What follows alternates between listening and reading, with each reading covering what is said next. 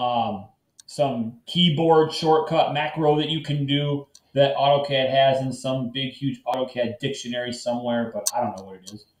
Uh, this is the way I kind of know how to do it. So if I go on my dimension, let's pretend this is a, has a counterbore and a depth to it, and I double click on this, and I say, hey, I want to put in a symbol. It has some symbols already for you, but it doesn't have any of the ones we want. We want depth and we want counterbore. So you have to go to other, and then on my other screen, this thing pops up, but you have all these different fonts. I did explain this in class the other day. All these different fonts. The font you want is GD&T.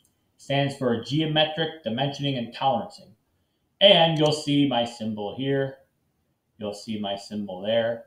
Uh, I can go in here and say 0.625 uh, counterbore and then say, you know, space, uh, whatever, 0.25 depth like that. I can say copy, and then I can go over here and physically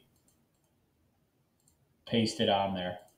And then you can see I've got it on there. You could delete this one out. Just have this one there if you wanted to, but there is a way to do that. Again, to do it, you've got to double click on here. You have to go to symbol. You have to go to other and go to this box will pop up.